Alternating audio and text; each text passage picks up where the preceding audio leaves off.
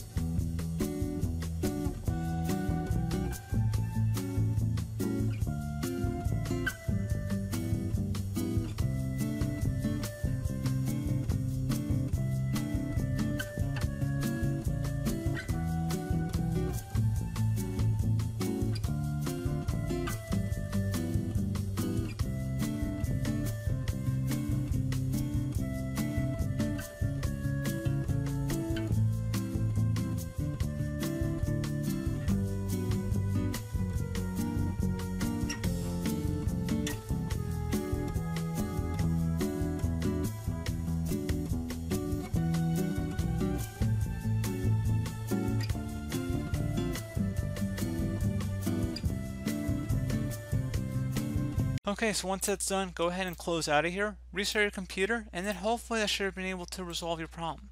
So, as always, thank you guys for watching this brief tutorial. do hope that I was able to help you out, and I do look forward to catching you all in the next tutorial. Goodbye.